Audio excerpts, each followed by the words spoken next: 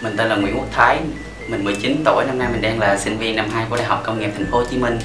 À, mình mới vừa đậu visa, đây là lần phỏng vấn đầu tiên của mình. Lúc đầu mà xin visa thì à, mình cũng run lắm, ai cũng run hết trơn á.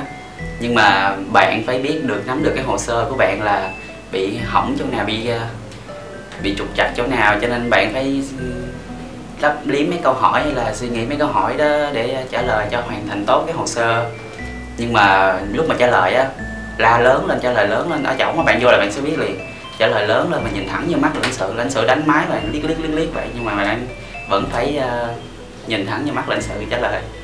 Ở Tân Đại Dương thì dạy em uh, tất cả đầy đủ những câu hỏi phỏng vấn và uh, anh Khôi là người đã dạy cho những cái câu hỏi và cách trả lời như thế nào.